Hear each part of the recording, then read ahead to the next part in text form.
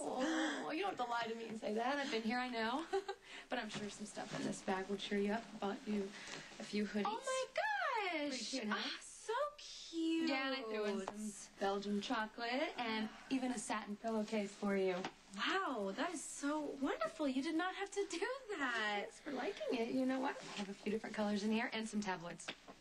Oh, you did not. Yeah. Well, you know, it's nice to know that the rich and famous, you know, are as messed up as we are, if not more. Oh, this is great.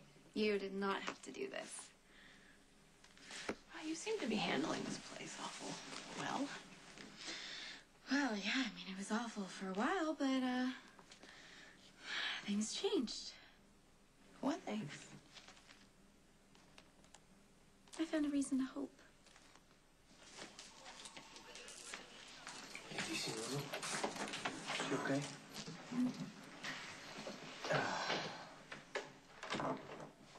John Lucky believes that Lulu may be headed for a complete breakdown. I know.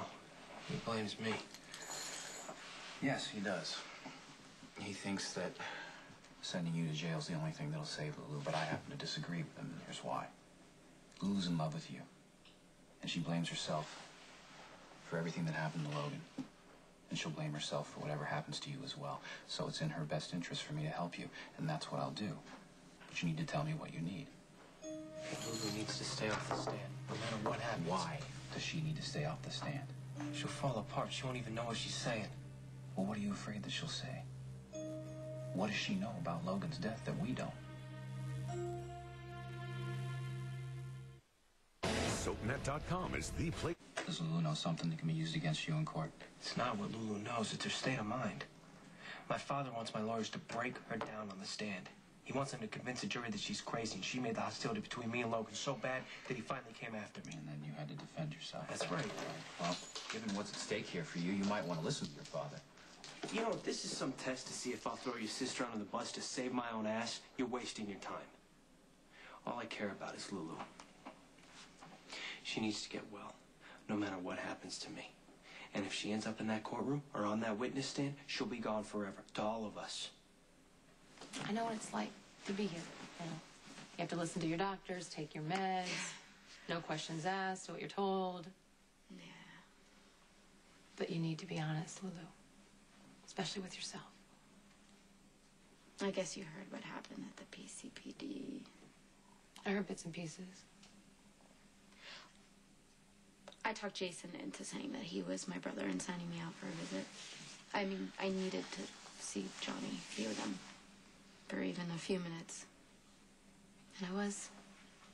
And it was wonderful. And then I saw um, Logan. I, I've been seeing him. It's why I'm here. It's, uh, I see him a lot. And it's pretty terrifying, isn't it? Yeah, it is. I was very scared, but I'm I'm uh I'm feeling better now. Why do you think that is? I don't know. Lucky brought me back. I had my session with Lainey and talked to some people, What people? other patients. It really helps. I know I'm gonna get through this. I am a lot stronger than I thought I was. That's great. I mean, I am. I'm scared, you know, and I, I'm scared about Johnny, but the best thing that I can do is to focus on getting well. The sooner the better. I mean, I know I, know I shouldn't be so surprised that you're doing so well because you're strong and you're tough and you're resilient, but if you need someone to talk to, I want you to know that you can trust me. I'm not going to judge you. And I promise you I won't tell anybody what you tell me. You really are the best. So Mom, it's me. Okay. That's okay. You said this was gonna happen, so I just wanted to say that I love you. Hi. It's all right. I was just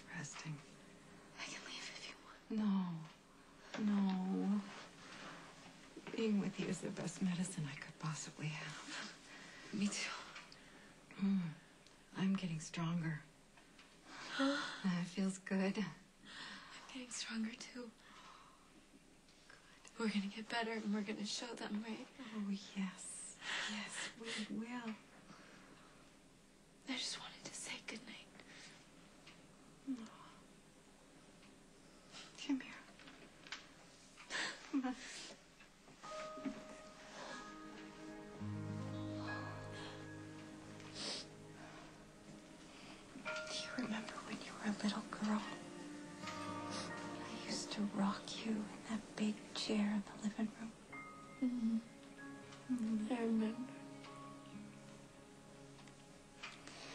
You would fight sleep for as long as you possibly could. you were so afraid that you might miss something. But then you finally let your eyes close. Because you would always say the same thing. Hmm. May angels on the wings of night watch over you until the morning light